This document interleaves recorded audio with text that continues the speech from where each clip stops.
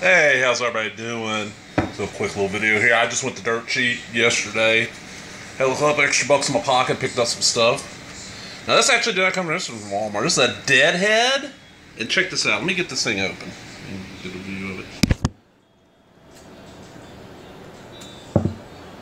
And that little net shit. Let me just break that net. and Get this thing open. Looks pretty badass.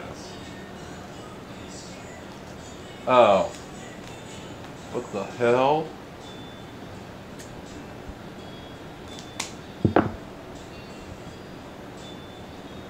That's why it was so cheap. Okay, this was only a buck. It's because that mesh got stuck with some gum. But look, it's a fucking Madball. It was like 50 cents instead of a uh, couple of bucks. So, okay, that's kind of cool. I love Madballs. I don't go in the collection. That ain't the big thing about it. you know me, I'm always going. I went dirt cheap.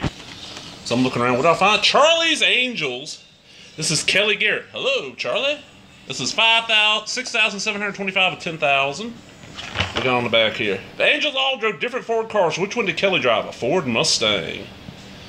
Made Kelly, Sabrina, and Chris. So let's get this some bitch open. See what we got in here. Oh, got a gun and everything. Wow.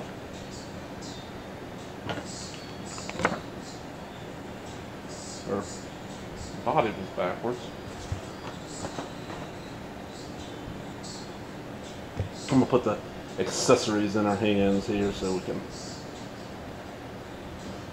have her ready. This is Miss Kelly Garrett from Charlie's Angels. Check it out. I mean, I don't remember which one was Kelly.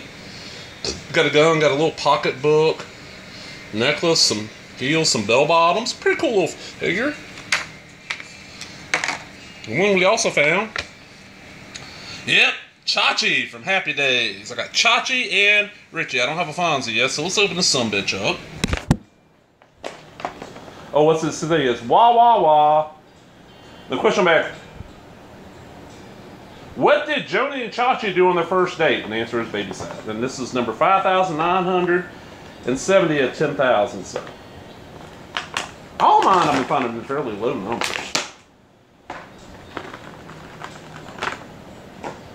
Okay, he's only got one accessory like Richie did. Now my thing about it is, okay, this is supposed to be set back in the 50s, but when you look at Chachi here, look at that hair, and that does look like Scott Baio. Look at that hair. Look at that outfit. That is 70s as hell with that bandana around his waist. Those are little milkshakes. Well, here, you go hang out with Kelly up there, Chachi. So two more Megos to the collection. And then the big one. The big fun. Where's that trash bag at? The big find, baby. The big find. Yeah.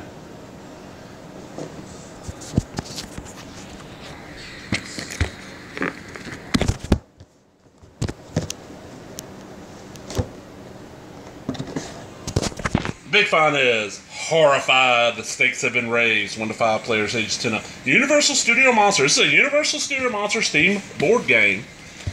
Look at this. This looks badass. Got all kinds of figures and all kinds of shit.